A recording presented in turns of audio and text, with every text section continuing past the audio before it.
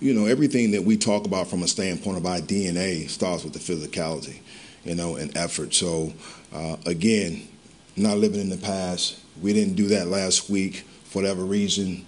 Uh, I uh, wish I could tell you why, because we had a great week of practice. Uh, but it happens sometimes. And the way that they responded, it just shows you how resilient this team is. Uh, and then also just uh, as a group effort in all three phases.